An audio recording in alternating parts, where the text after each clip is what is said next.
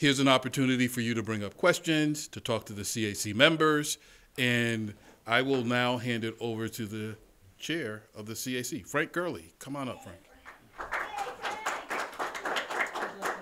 All right, thank you, everyone, for coming in to attend the meeting. Uh, The purpose of the meeting is to solicit public comment on the, um, on the uh, urban revitalization plan and the amendments to it, okay? Um, To start things off first, I think we're going to have Rob May come in and just give you a brief overview and explanation of what the 40R is. So, Rob? And opportunity zone, Abs- Absolutely. opportunity zone. So, um, as part of the Tax Act, how, I'm sorry, I should start over again. I'm Rob May, I'm Director of Planning and Economic Development for the City of Brockton. And if I'd have known we were gonna be on camera tonight, I would have, uh, I was off today. I was off today, so, um, yeah. The city means that much. So, um, we um, have successful, successfully established a um, urban renewal district about three years ago. And uh, you can see some of the work that we've been doing downtown. Uh, Robert Jenkins, as the head of the redevelopment authority, has been um, attracting new developers to sites that have been identified in the urban renewal uh, plan. And uh, as a matter of fact, there are three sites that are in the plan that are under construction or will be under construction uh, this summer. So there's a lot of activity going on. Now, um, also in the last couple of years, some things have changed in the federal government uh, as part of the um, Tax Cut and Jobs Bill. They, the federal government has created a new program called Opportunity Zones. And um, I'll, I'll start out by saying I'm not a tax attorney or an accountant, but uh, the opportunity zones are a way to um, defer uh, rollover um, uh, capital gains, to reduce your uh, capital gains basis, and then potentially, if you've invested um, up to 10 years in an opportunity zone, you can um, eliminate all new capital gains on the development project. Uh, it works out really nicely for real estate projects, and that is one of the reasons why we chose to expand the, uh, or, or would want to expand the downtown urban renewal district. Site control is critical because the opportunity zones only last for the next three years. And so you need to make an investment in the next three years in order to capture the maximum uh, tax benefit out of this program. And we were lucky enough to have four uh, opportunity zones identified here in Brockton, two of which are downtown. One is covered by um, our downtown urban renewal district, and the other is uh, west east of the tracks uh, and includes areas around the CSX yards. And that is also an area that we are um, currently producing um, a, uh, a district plan and a or, and potentially an urban renewal plan that'll be coming back to the CAC. So because site control is so critical, uh, one of the most important tools that we have out of the urban renewal process is uh, the site acquisition and potential use of eminent domain. And um, I will let Robert uh, address that in a little bit more detail, but um, we've identified projects up here that could become um, uh, available for acquisition and the urban renewal or the, the development authority uh, would like to work with the existing property owners to make deals happen at those sites. And uh, urban renewal is one of those ways of one of those tools that make this all work out.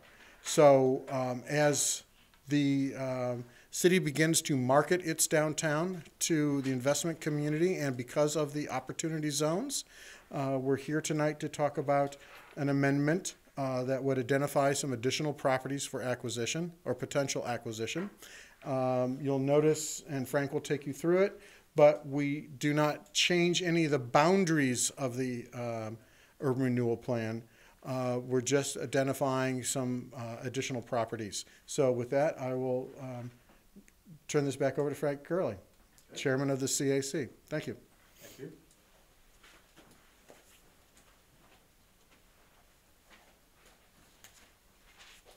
Some of the things to, to start off with, um, it's a very exciting time in Brockton.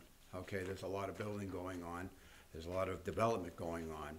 Um, We'd all much rather see uh, jobs in place. We'd much rather see equipment working on buildings and stuff like that to rehabilitate them and to bring them into, back into the tax rolls and all that good stuff. Some of the things that are um, being worked on, um, either actively or behind the scenes or, or that are imminent, uh, 19 Main Street, uh, the BRA has got that, and uh, they're looking to develop that as a mixed-use project. Uh, 121 uh, Main Street, uh, NeighborWorks has that. That is um, where Prava was last year. That property, within the next couple of months, will be putting a shovel in the ground and getting started. Okay, the Petronelli Municipal Garage, um, we can see that happening now. The construction is ongoing with that. The Petronelli Gym and 93 Center Street have both been sold, and they are uh, scheduled for development for residential with retail in it. Um, 47 West Elm Street, a very exciting project on uh, West Elm. That's the, um, the old burned-out building next to the hotel. Um, That is in the construction phase now. Construction is ongoing. Uh, 42 units going in there, 40-some odd units going in, uh, market rate housing. And the Lincoln School, uh, NeighborWorks is uh, uh, looking at that for providing eh, some senior rental, low-income housing as well.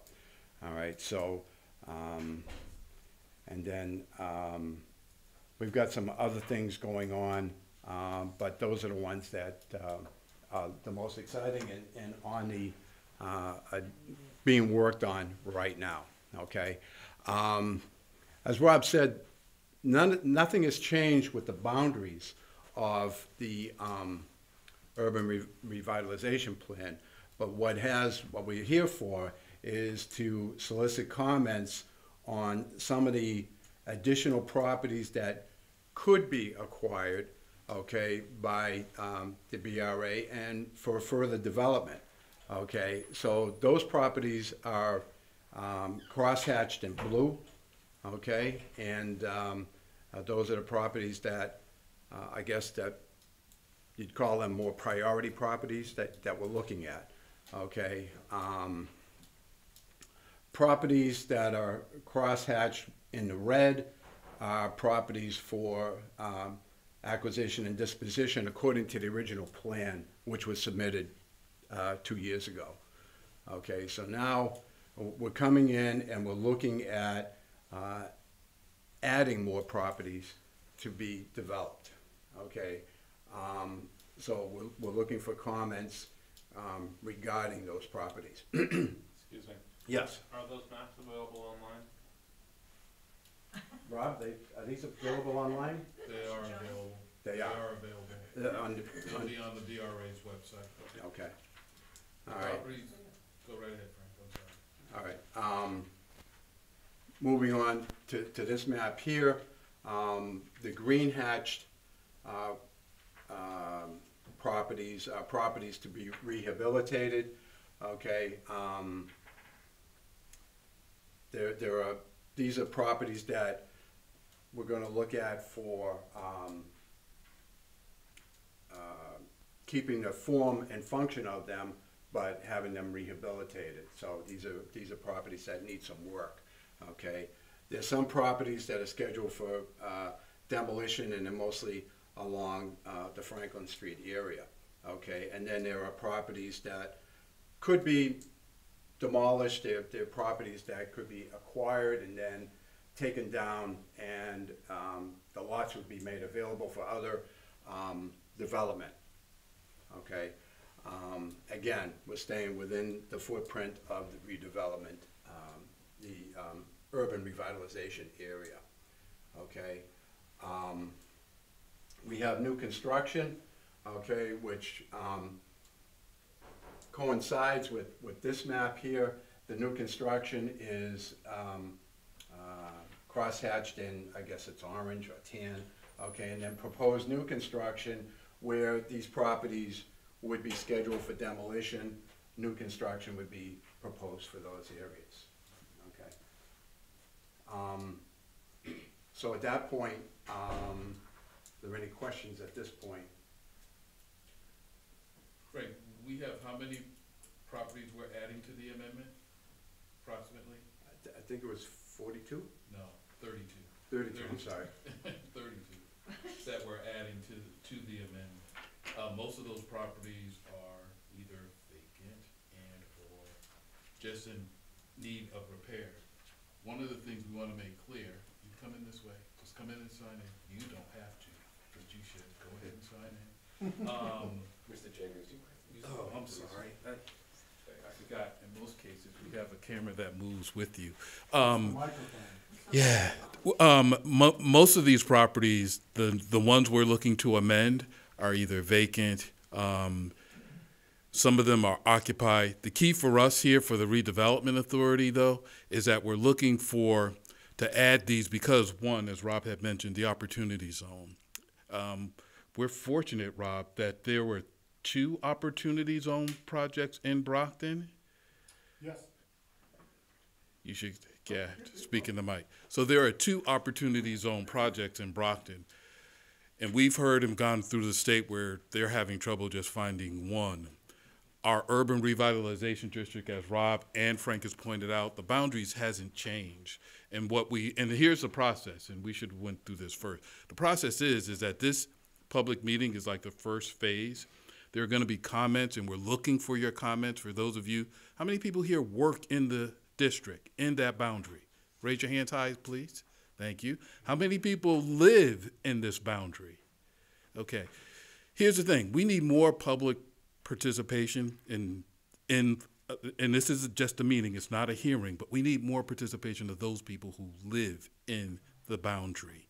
Um, because as we go through this process of redeveloping and having development going on in the city, and you guys will see a lot more of it as we get into the warmer months, um, it's going to be critical to get your input. This is just the first meeting. The CAC has to do a presentation to the board next Wednesday on this meeting. Once the board approves whatever recommendation they have, then we have to go to city council. And how many city councilors do we have here this evening? Show of hand. Councilor Bodegard, we know you're here. Councilor Monahan, thank you. Um, it's key that we that we have, and they will have to hold a public hearing. Okay, so it'll be a public hearing for the city council, but for us, it's more of a public meeting and getting information so we can bring recommendations not just to the board, but also to the planning board. Rob Yes, sir. has to also have a meeting Correct. as well, and they'll have to approve this. So this is going to be a, a process that we go through through the summer. So since we have most of the people that work here, I saw more hands for people who work in this district. Um, we really do need your comments as well, because a lot of you have probably been working in this district for a long time. You've seen a lot of changes. How many people here are just residents of Brockton? I want your hands held high, please. Thank you. Um, you guys should definitely, because as the downtown changes, it will affect the city as a whole. So it's very important that we also get your input. Did everybody sign in here? Yes? Nod a heads? Yes, yes, yes. Thank you. Um, so your comments here are very important. First step, we need your comments. There are approximately 30 to 32 identified parcels, properties that we've identified. There is some, also some potential development that is happening as we speak. Frank mentioned 19 Main and stepped away. There's also Frederick Douglass, the purple buildings of what I, I call the purple buildings. There are interested developers in that building. There's developers also interested as of today into the Grayson Hotel, surprisingly. Um, but there's going to be a lot of activity because of the opportunity zone, but also because of the market has changed. With that said, if you have any comments, don't be shy, because I'm not. Step up to the mic, make your comments. Zayas is taking notes. CAC members, can you raise your hand and introduce yourselves, please? You know Frank Gurley. Janet Trask. Nelson Fernandez. Angela Gonzalez. Thank you. Um, are we missing anyone? Yes. Eunice DePina, uh, who works for Harbor One, who's also on the CAC members. So with that said, I'm gonna turn it back over to Frank. Please, you- we need questions, we need comments. I don't wanna hear any negative, but we'll take them, good or bad. All right? Excellent. Any questions? Counselor? Could you explain the opportunity zone again, how that's gonna work? Sure. May?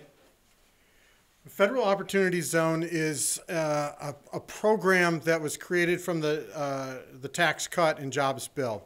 And basically, if people have um, uh, un, uh, God, what's the word I'm looking for? I'm sorry. But on, on uh, if you have capital gains on an asset, let's say you own 100 shares of Apple, um, if you were to sell that right now, you would have to pay tax on that as a capital gains tax. But this new program allows you to roll that gain over into a new investment within one of the opportunity zones, and there's close to 4,000 across the country right now. And if you roll that uh, investment, let's say you made a uh, a hundred dollar gain, which if it's Apple, it's going to be more than that. But if you have a hundred uh, dollar gain, and you invest that into the opportunity zone, you do not have to pay tax on that hundred dollar um, gain for seven years. Also, if you've held it for five years in the zone, you get a uh, 10 point reduction in the basis. So instead of having to pay tax on nine uh, on $100,000, $100, you only pay tax on $90. If you hold that investment for another two years, for seven years, you get another five um, uh, percentage points dropped off of there. So now you only have to pay tax on 85% uh, or $80 instead of the whole $100. Now, you're invested into a project. It has to be an asset. It could be a company. It could be real estate. Um, a couple of other things that that uh, the federal government will allow. That property or that project, that company, is going to generate profit. And that's going to come back to you. And at some point in time, when you sell that property or you sell that investment, you would have to pay capital gains on that. But if you take that same capital gains that you've rolled over, that $100, and you've invested into a new project, at the end of 10 years, let's say that that new investment's worth $1,000. You sold that. You don't pay any tax on that $1,000. And you only pay uh, capital gains tax on $80 of the original $100. He sounds like a tax attorney, Oh, my goodness. you know? It's fun reading. Really. So, forget about tax law, let's talk about Brockton and the urban revitalization plan. Um, comments, um, please. Question I have, with the Hotel Grayson and the building across the street from that, with those being, um, looked at by potential developers, will those be allowed to be torn down or rehabbed? Not on my watch. Okay, good. What about the Porter I building? wasn't on No, my Porter watch. Building's beautiful. Okay. He, he's an architect, he likes that stuff. It's not up to us whether it gets torn down or not. The BRA is just a facilitator of having it developed. Okay. At this point in time, both of those are being entertained as rehabs. This, one's a And- historic rehab, one's a. I, I should mention that as part of our um, downtown action strategy, we've identified several um, properties that should be on uh, the National Register of Historic Preservation. And we have now um, submitted applications for two new historic districts down, uh, that would be downtown. And both, all three of those buildings are within the district boundaries and are contributing properties to that historic district. We, we have a lot of beautiful historic buildings, we want to keep them. We want to work with the property owners um, to either do it, the project themselves, to find partners to work with, um, or if they're, they're going to uh, uh, sell them as investments, then we need to make sure that the people who come in are working with us. Just like 93 Center Street, that's all being done to National Historic Standards. And so uh, we want to preserve what we have. And the Porter building, where is The Porter Block is on the corner of Court and Montello. It's a two-story building. Um, it's across from Avon Auto. And, uh, it's a, What do you know about Stan? yes, it's where Stan's used to know? be. I used to walk by it on my way to high school when it was on. Ooh. Oh, you did. But it- it's our, it's been inventoried, it's a beautiful building. And what about thirty-six Main Street? I know that, you know, when the state eventually moves, um, into their new building where the Ganley property is now, that will become available, For rehab. okay?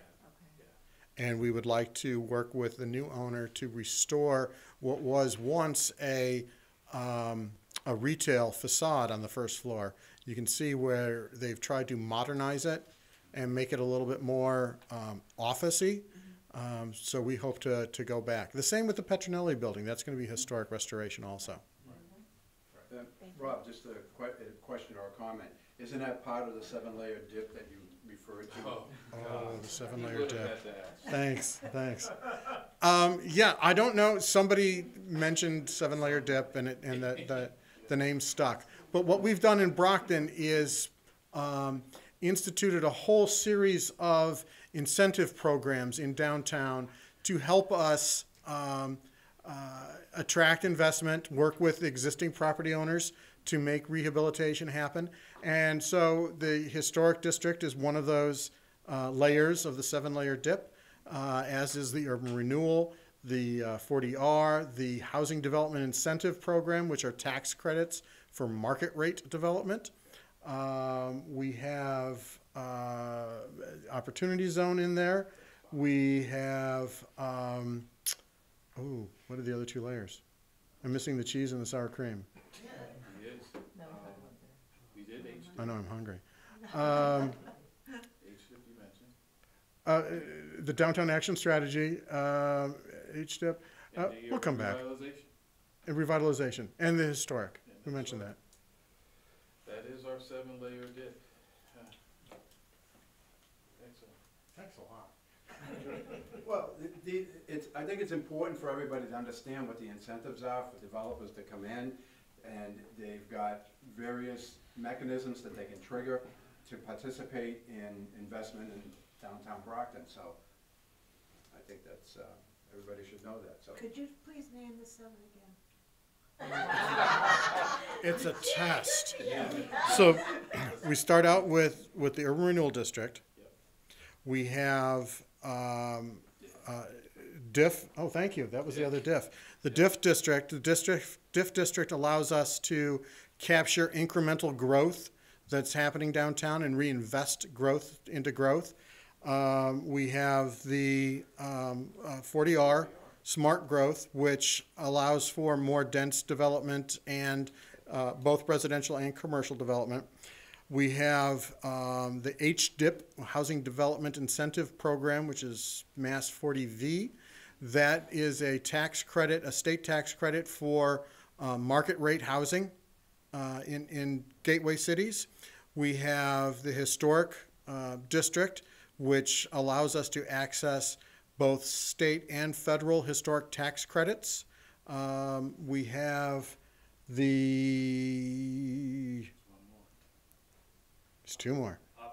Opportunity zone, thank you very much, and new market tax credits. Had to pull that out somewhere. New market tax credits are um, federal tax credits for commercial development. Zayas, make sure you write all of that You down. get an A. I get, uh, I also would be remiss if I did not introduce our, our vice chairman, Jerry Smith, and he's sitting here beside me, so I'd be remiss if I did not introduce. just Jerry. off camera. Just, just raise your hand, Jerry. Yes. Yay. All right. Excellent. out. All right. Um, Do we have any other questions regarding the plan? Yes. I just have a quick question about the, um, the parking lot that you wanna acquire on, well, it's Legion Park, on Frederick Douglass, next to the old security. Oh, Federal. Security Federal Yeah. Safety Yes. Bank, so, as you know, that also on that parking lot is the Liberty Tree Yes. in that little park, so Is it really a Liberty Tree? Yes, it is. It is. Yes, it is. Is it growing? Yeah. It is Yes, growing. And it's, and it's, and it's Well, you healthy. better get out of the office more. There, there are five leaves. There's five leaves on it right now. Is it it's really? healthy. It, So- I just walked by today, so it, it, it needs some love. It does, so we're working on it. But um, with regard to that, um, we would like to acquire that, that parcel so that we can convert it into a city uh, municipal public parking lot so that other people can use it instead of just the um, people going to the beauty supply. Um, We'd also um, like to preserve and officially own the Liberty Tree. Right now, it's owned by a private person, and they can decide to do whatever they want with it. Um, We've been really lucky that, that that owner has, has worked cooperatively with, you know, civic leaders, but in the future, God only knows. So by us owning that, you know, it, it kind of cleans up um, that area, allows for some more surface parking, and saves the, uh, the tree. Do you, do you think that it would be possible to expand little- that little park? It could be, Just putting it out there. a couple of lawn chairs back there? Maybe a statue? there. Oh, that's a good idea. Frederick Douglass. That is a good idea. Oh, of him. There were big plans ten I years thought ago for a little park there. Really? On private, So- on private lane? Well, steps would be taken to see if, you know, Okay, that's a Well, good that's idea. The bank, the bank was. Is that, Yeah, the bank- oh, yeah, Bill that's Moore. The bank owned it at one time, yeah. that should be. a Not Harbor One, comment but the- Recommendation? It was, it was mutual bank at that time. And what is the recommendation, Cindy? to not only acquire and, it- but expand the. Okay, Land that the Liberty Tree sits on. That's a good idea. To make us proud of that place. I would say create a historic easement to protect Mhm. it into the future. that sounds good. Um, there was a So question? That was actually my question, um, uh, whether there are any plans in place to put uh, green space um, in, in any of those areas or in the downtown area. Um, yes, there is. Um, there's a couple of different uh, activities going on right now. Uh, we've just finished up a, uh, a conceptual plan for what we call Sycamore Grove. The Sycamore Grove is the old BAT terminal where the buses used to come. Several years ago, they moved it uh, to the other side of the tracks, but it's kind of a city parking lot and you know, it's it's behind Joe Angelo's and Tamboo and Cristal and and it's really it's there, but nobody uses it much. And so the the master plan that we've we've created, and I should point out that's just outside of just outside of the district. But there's City Hall Plaza has this arm that connects down towards Maple Ave, and so we want to um, extend this streetscaping into Maple. And Maple, there's a, um, a bridge that goes into the park, uh, Salisbury Brook Park. But um, this space that's uh, uh, currently a parking lot, we hope to green up, work with the existing restaurants that are on um, fronting Main Street, and allow them to be able to open up into the back. And if you were at Prava um, last summer, it was really successful. We'd like to, you know, have a, a stage and um, you know people could hold festivals and, and things like that back there. Um, or it could be a future home for Prava. But that's one of the areas that we'd like to see some green space expansion. Um, where is ah? Here's the rest of the maps. Yes. One with green. Olive green.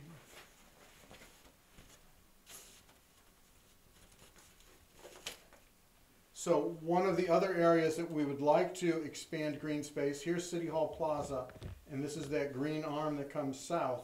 We would like to try to acquire some of this property along School Street. Right now, there's a parking lot there. Uh, as we get more and more, um, garage parking downtown, uh, we hope that that surface lot won't be necessary or as necessary and, and we can make more space available here. But we would like to be able to have another arm of City Hall Plaza coming out and another arm coming north. Um, when Main Street becomes two-way, this preserves the view corridor. Um, so as people are driving, you know, south on Main in five years, um, you'll, you'll still be able to, I hope, still be able to, to see, um, uh, uh, City Hall Plaza.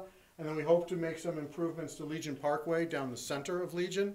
Uh, instead of being all concrete, we'd hope to be able to expand that, soften it up, add some more trees, put some, um, uh, dining opportunities along the sidewalks on the edge as we work with the businesses along the edges, um, and, and green that whole area up. For over a decade, I've been hearing that Main Street is going to be, going to be two ways. When is this going to happen? Well, we have just about finished up our um, downtown traffic study.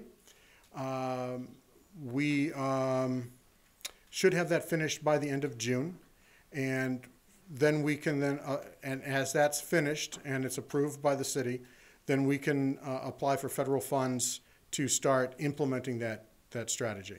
I recall within the last, maybe around five years ago, um, Senator Brady, I believe then he was a state rep, saying that ten million dollars had been appropriated for something for Main Street to be two-way. ten, there, there is money that has been identified in a bond bill.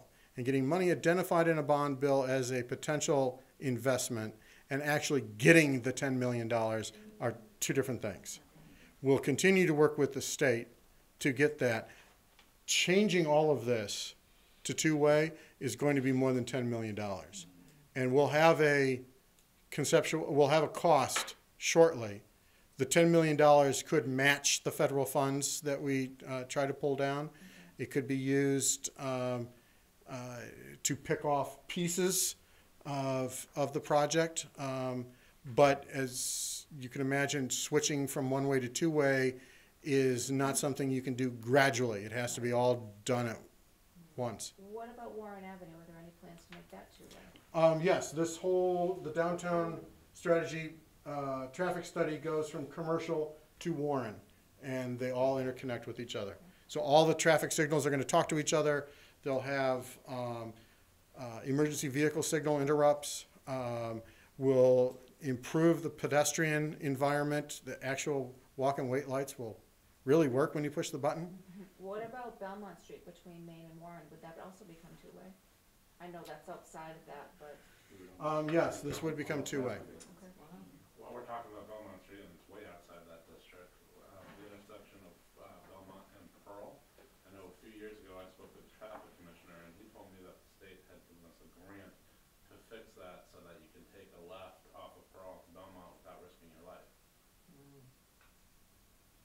I would say you can still risk your life if you take that left. Right. Yeah. Well, no, there was supposed to be a signal put in, and it ha- it Yeah, hasn't, Jim. hadn't happened. I This think, is like five years ago. I think, um, OCPC would have more information. Yeah, I'm not aware of that. Yeah, because, um.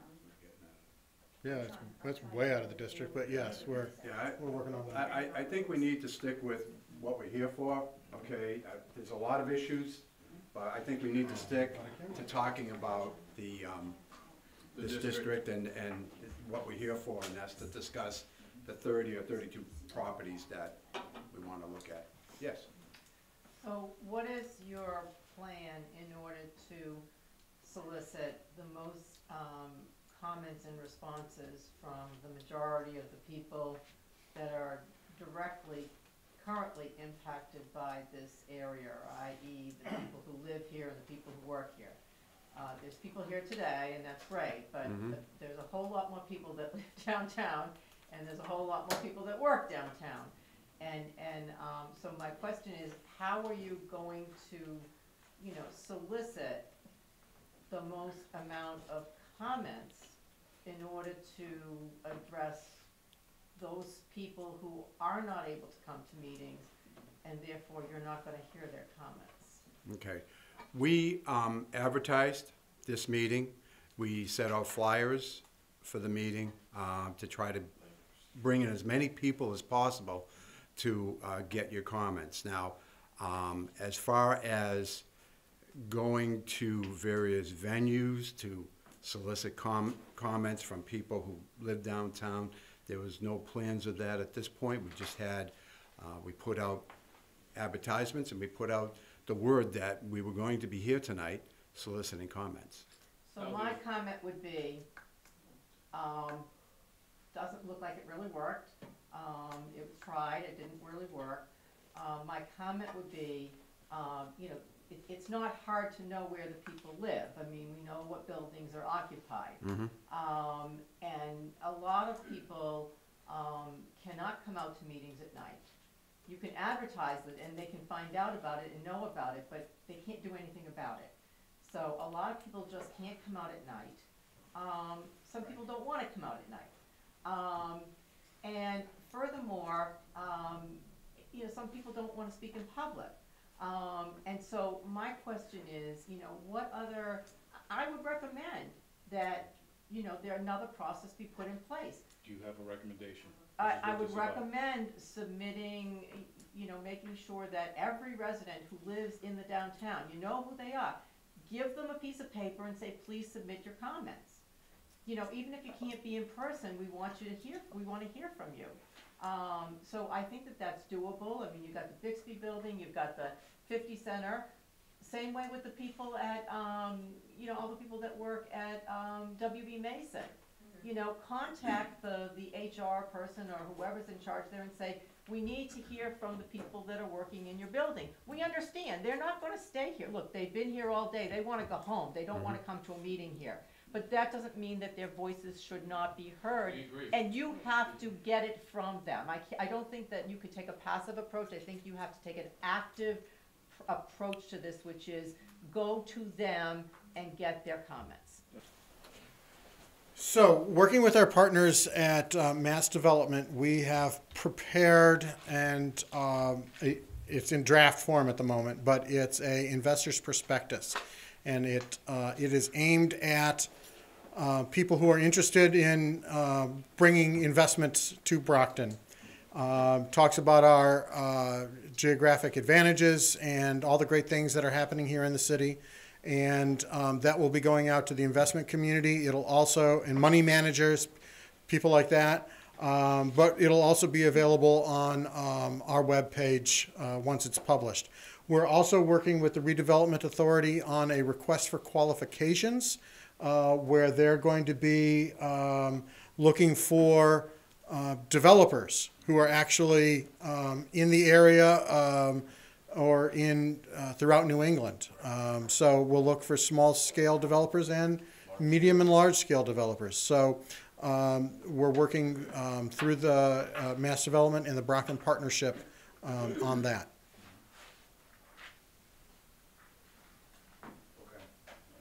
I'm live. Is there any, um,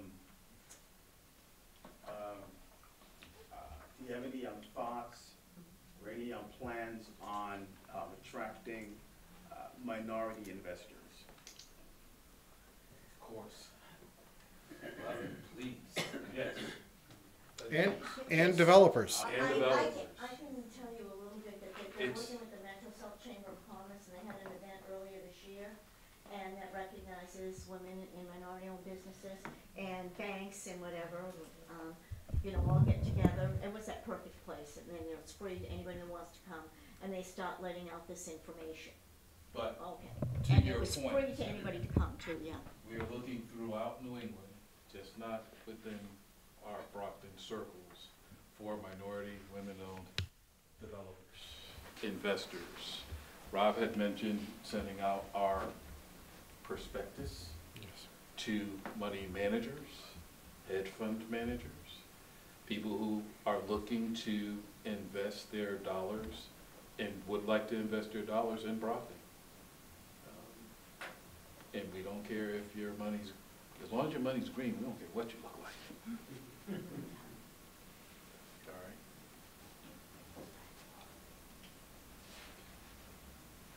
right? I just, cause I don't know your name, and we are very few people of color here. What is your name and your, and your affiliation? Marlene Green. And Marlon, I do live in Brockton, I work in Boston. okay, and what do you do, Marlon? I work in healthcare. I'm a Okay. research manager. Excellent, at one And of he the ran hospitals in for Boston. city councilor in Ward Three okay, last week. Would you like to make an investment? yes. All right, Excellent. Um, Angela, you're awful quiet, but I know you're planning a wedding, so I'm not gonna stick you out, you know? Um, any other comments? questions. As Rob had indicated, you can contact Zayas Andrade at zandrade, brocktonredevelopmentauthority.com. If you really have to, you can contact R. Jenkins at Brockton Redevelopment brocktonredevelopmentauthority.com. Um, our numbers are listed, uh, these maps will be on our website, right, Zayas? Yes, it is. Yeah, thank you. All right. Um, tell your friends, um, we will get out a questionnaire, we'll work with the CAC to come up with, you know, just a form of basic questions. We've done this, thanks to council, we did this three, four years ago. Same thing. We'll get out comments, we'll get out our cards, we'll, we will still mail out and do our outreach. But I love the idea of just going straight to HR, um, and saying, we need these filled out. Yeah, they do that school department too, Yep. so. Just one other comment, um, that people in the audience might be interested in on TV. Um, to just quickly tell about the 32 properties, maybe some of the ones that are more well-known. Sure. Um, some of the properties, uh, the 32, you're looking at, let's see if we can pick out a few. The blue. Um, Frederick Douglass, this is actually looking for the easement. Um, there are plans for Frederick Douglass, which is 11, 1115 Frederick Douglass? 11250. 11. 11 dash Right. yeah, eleven dash Dash fifteen, thank you, yes. Um, you look at this, we put this in the, this is actually the Trinity, is this the Trinity? No, that's the garage. That's a garage, this is the Trinity property. Right. We put the Trinity property in because at the time, we didn't know if they were gonna finish it. Trinity two, and if they don't, we will. Okay. Um, some of the other properties. Stadelman Block. Stadelman block, Yeah, which one? interesting block, which is L Street. This block here, Yeah. Um, how should I say this since we're on TV? We'd like to do this whole block. When you're doing urban revitalization, it makes sense if you do large tracts, economy of scale. It's easier than trying to pick them off one by one. Um, and so it's in our best interest as a city to look at developing the whole block. We know this is going to be developed, but the rest of this needs to be developed. This needs to be. Rob, is there any? It's almost all surface parking in the Stadelman Block. The other interesting thing about this city that, and, and just so you have an idea of my background, I worked in Boston and Dorchester, and New Haven. Um, it's interesting that Brockton's, and I've even said this to the parking authority, our most valuable asset of real estate is all surface parking. And it's a little, it's just not usual to go in a city that has a commuter stop, three, and all of its surface parking around it. Even if you go out to, I mean, the suburb, Westwood, you've been out there lately, what's the store that's out there? And, Wegmans. Wegman, University, thank you. Yeah, yeah, I mean, there's over, I think someone said over thirty-five hundred units that's being built around that train stop. yeah. Mhm. That's what people are doing. People like convenience, and that's what we need to be thinking of. And the Corcoran Building and the building Corcoran, uh, near the police that's station. outside of Oh, it our- is. No, no, no, and those, those are not in the situation. and they're not in the district. Okay. However, They're in the whole- you never talked about this, Uh, That's still outside the district. okay, yeah. But this Green Street, And that was, those are already in the urban renewal. Um, There's, uh, at the end of Legion Parkway, uh, you might remember the, the city had blocked off the road for a while because there was a building, parts of the facade were falling off, and there's maybe a small retail store and, and um, a pizza, pizza shop. Um, and then there's two floors above that that are just completely empty and open to the elements. And we need to work with that out-of-town landlord and to, to do something to clean that up. And it's, and so we've identified it as a acquisition parcel. And acquisition doesn't necessarily mean that Robert's going to buy it. Acquisi, I'm on TV, so I can't say, I can't swear. But acquisition means that get your, get your crap together. right, or do something. We're taking this seriously. Uh, also, next to the Alamo, um, you might remember there was a fire in the building. And, uh, it's been four years, Right, nothing's happened. They've not come in for building permits. So again, we're lighting the fire underneath him and said, you know, let's, Do let's get this Right. Fisher cut bait. That's a clean way of saying it. Thank you, thank you. But those are some of the properties of the thirty-two. If you're interested and need a list of the thirty-two, we can get that to you as well. Now, fact, you, you might think thirty-two is a lot, but when you look at just the Stadelman block, Right. there's And most of it is surface parking. fifteen parcels there, And most and of they're all surface parking. So it's like, oh my god, thirty, it's like, eh, it's really, Yep. They're not all buildings. They're not all buildings. Right. Excellent. Thank you. All set? Frank, we'll leave it to you to close out. Okay, um, the other members of my, well, first of all, ju- just a comment, um, um, wanna thank you all for coming tonight. Um, good suggestions, great suggestion about going out and, and, um, getting to other people, okay, and we'll, we'll do that, and we'll follow up on it. Um, please let, uh, your friends and family and your neighbors know, okay? Like I said in the beginning, this is a very exciting time for Brockton. Um, I've been in Brockton for about fifty-three years, having moved here from Boston. And, uh, I can't remember a time in those fifty-three years that it's been this exciting. All right, um, wa- like I said earlier, walking up to the high school, where the old high school was, walking by and just seeing business after business going out in the late sixties and seventies and the eighties. Okay, now we're coming back, okay, and, um, it's very exciting.